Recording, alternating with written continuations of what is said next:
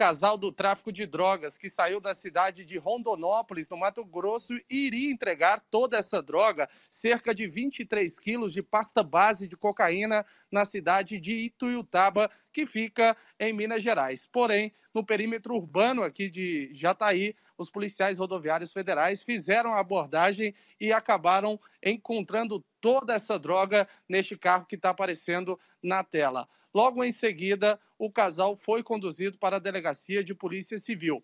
Nós estivemos lá no local por volta de uma hora da tarde batemos um papo com o agente da Polícia Rodoviária Federal que participou desta ocorrência. E ele fala como foi a abordagem. A polícia estava desenvolvendo seu trabalho rotineiro de abordagem na BR-364, visualizou esse veículo né, e sinalizou para que ele parasse.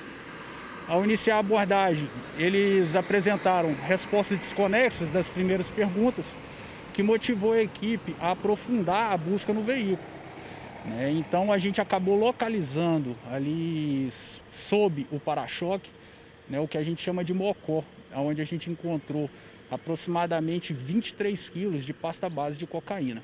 É o resultado de um trabalho ar desenvolvido aqui pela PRF em Jataí, né, que homens e mulheres passam aí o seu dia de trabalho na rodovia, fiscalizando, tentando levar segurança viária né, e combater essa criminalidade organizada, que insiste em realizar o tráfico de drogas e armas passando aqui pela nossa região.